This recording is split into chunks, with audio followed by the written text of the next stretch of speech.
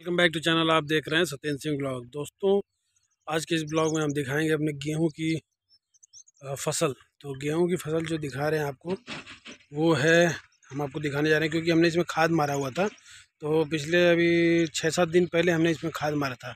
तो हम आपको दिखा सकते हैं कि अभी उसका रंग कैसा आ गया है छः सात दिन के बाद, खाद मारने के बाद। तो वो दिखा रहे हैं। ये देखिए, पीछे जो आपको दिख रहा होगा ये हमारा गेहूँ की फ़सल है, देख सकते हैं।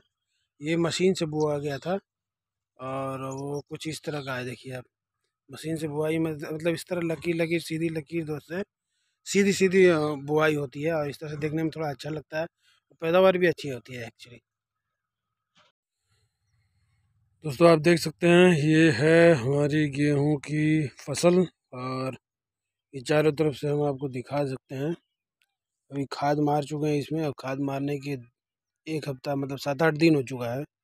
सात आठ दिन के बाद जो है वो इस तरह से रंग में आ गया है। आप देख सकते हैं। आप लोग भी खाद मारे होंगे, और मारने के बाद इस तरह का आया कि नहीं, बताइएगा ज़रूर कमेंट में।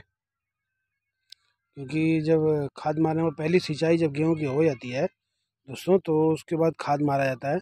जब पैर धंसने लगता है मतलब थोड़ा सहने लगता है, पैर जैसे खाद मार सकते हैं, उस टाइप का अगर जब हो जाती है मिट्टी तो आप खाद मार सकते हैं, पहले खाद। पहली सिंचाई के बाद पहली खाद। तो जब पहली खाद मारने के एक हफ़्ते के बाद आप देखेंगे कि इस तरह का जो है रंग में आ जाता है गेहूँ। पूरा हरा भरा हो जाता है और उसके पत्ते बहुत ही हरे भरे होते जो भी पीले रहेंगे वो भी हरे भरे हो जाते हैं।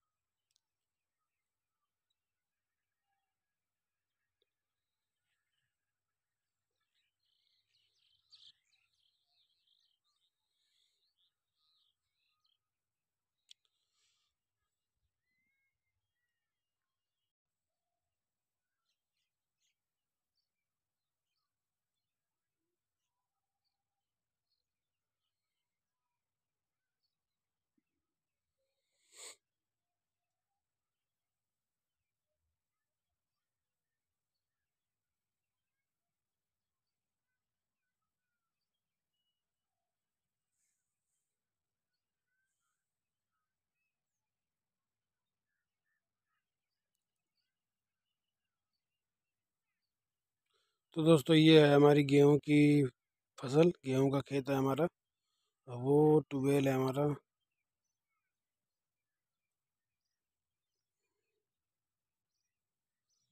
और ये चक्रोट है, समझ लीजिए रास्ता है। रास्ते पे ही खेत है हमारा। तो गेहूँ कैसा लग रहा है आपको? खाद मारने के बाद रंग में आया आया कि नहीं? ज़रूर बताइएगा आप लोग कमेंट में। क्योंकि सिंचनी भी कर दी हमने पहले और पहली खाद नहीं मार दी इसमें।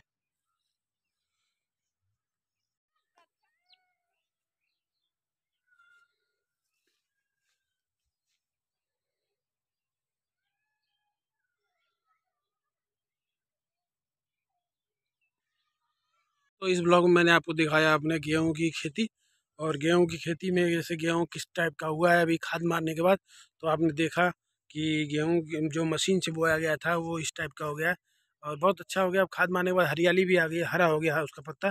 क्योंकि पहले सिंचाई की, पहली सिंचाई जब हमने किया था तो दोस्तों वो जो है उसके, उसमें पीलापन आ गया था, क्योंकि पानी लग गया था। तो एक्चुअली फिर हमने उसमें खाद मारा तो इसलिए वो एक हफ़्ते के बाद वो रंग में आ गया हरा भरा हो गया। तो दोस्तों इस ब्लॉग में इतना ही। इस ब्लॉग में हमने आपको हमने आपको दिखाया कि हमारी गेहूँ की फ़सल कैसी है, और जो है सिंचाई के बाद खाद मारने के बाद कैसा, क्या रंग में आ गया है, ये सब हमने आपको दिखाया। तो भी ये वीडियो अगर कैसा लगा? अगर जैसा भी लगेगा, प्लीज़ कमेंट में ज़रूर बताइएगा। और चैनल पे अगर आप नए हैं तो प्लीज़ चैनल को सब्सक्राइब कर दीजिएगा और कमेंट में ज़रूर बताइएगा कि कैसा लगा। तो सब्सक्राइब आप लोग नहीं करते हैं चैनल चैनल को वीडियो देखते हैं, स्किप कर देते हैं। तो दोस्तों, ये देखिए, ये बहुत बड़ी, बुरी बात है। तो प्लीज़ आप चैनल को सब्सक्राइब करके ही जाएँ, क्योंकि सब्सक्राइब करेंगे, क्योंकि तभी तो अगली वीडियो आपको मिलेगी देखने के लिए। और आप इंजॉय करेंगे। तो इसी तरह नई नई वीडियो में लाता रहूँगा। तब तक के लिए मस्त रहिए, खाते रहिए अपने अपने कामों में व्यस्त जय हिंद।